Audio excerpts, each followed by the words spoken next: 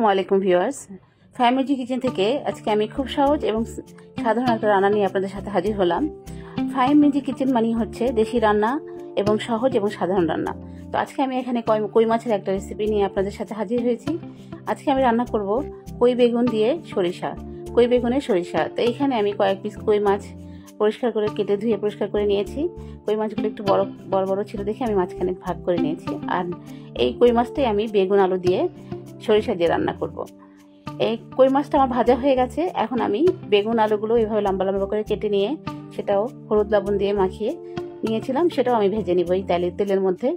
বেগুনগুলো আমি ভেজে ভেজে নিচ্ছি, এরপরে বেগুনগুলো ভাজা হয়ে গেলে আমি আলুগুলোও ভেজে নিব। এভাবে কই বেগুন দিয়ে যদি সরিষা দিয়ে রান্না করা হয়, তো সেদিন আর অন্য কোনো তরকারি লাগে না, এটা দিয়ে খাওয়া হয়ে যায়। তো আপনারা জানেন যে আমি সবসময় সাধারণ রান্না বান্না করি। আমার পেজটাকে যদি আপনারা ফলো করে থাকেন, তাহলে অবশ্যই দেখবেন। তা, মাছটা রান্না করার জন্য এখানে আমি একটা প্যান বসিয়ে তাতে দিয়ে দিয়েছি পরিমাণ মতো তেল এবং দিয়ে দিয়েছি কিছু পেঁয়াজ কুচি। তো পেঁয়াজটা যখন আমার লাল লাল করে ভাজা হয়ে গেছে, তখন আমি এখানে দিয়ে দিয়েছি এক চামচ রসুন বাটা আর দিয়ে দিলাম দুই চা চামচ পেঁয়াজ বাটা। এটা দিয়ে আমি একটু কষিয়ে নিচ্ছি। তারপরে দিয়ে দিচ্ছি একটু সামান্য পরিমাণ পানি। এরপরে দিয়ে দিব আমি পরিমাণ মতো লবণ, স্বাদ মতো লবণ। তারপরে দিব এক চামচ হলুদের গুঁড়া, এক চামচ লাল মরিচের গুঁড়া, আধা চামচ ধনিয়ার গুঁড়া, আধা চামচ জিরার গুঁড়া। এই সবগুলো মশলা আমি ভালো মতো কষিয়ে নিব।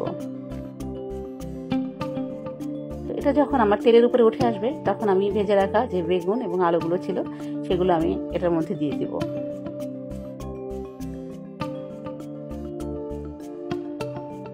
দিয়ে দিলাম আমি বেগুন আলুগুলো দিয়ে। এর উপরে আমি মাছগুলো এখন ছড়িয়ে দিব।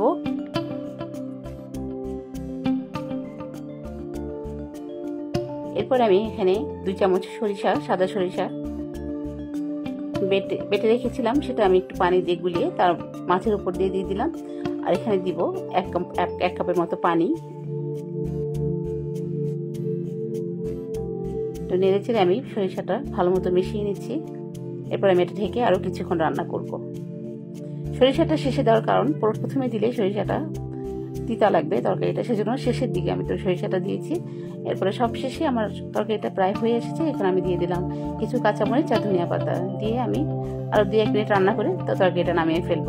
তো এইভাবে আপনারা বাসায় কই বেগুন দিয়ে সরিষা দিয়ে রান্না করে খেতে পারেন। খুবই স্বাদ হয়েছিল, আলহামদুলিল্লাহ আমরা করে খেয়েছি। আর মাঝে মাঝে আমি এভাবে করে খাই কই মাছ। এরপরে আমি একটা দিশে ঢেলে নিচ্ছি। তো হয়ে গেল আমার কই বেগুনের সরিষা। তো আপনাদের যদি আমার রান্না ভালো লাগে তাহলে একটা লাইক শেয়ার দিবেন। আর আপনারা ভালো থাকবেন, সুস্থ থাকবেন। আল্লাহ হাফেজ। আসসালামু আলাইকুম।